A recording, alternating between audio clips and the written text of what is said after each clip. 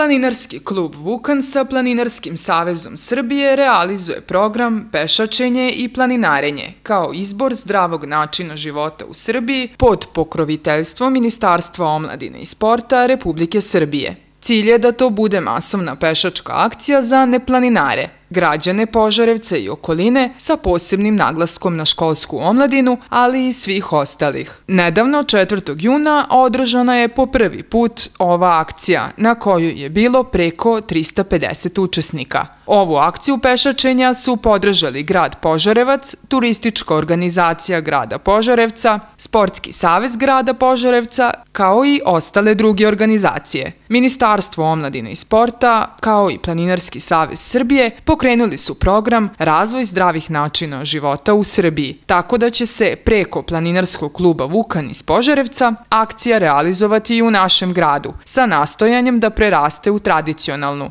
Veoma zdušno ovu ideju je podržalo i ekološko društvo Prijatelji Čačalice kao ravnopravni partner. Cilj je da što veći broj neplaninara učestvuje na ovoj akciji rekreativnog pešačenja.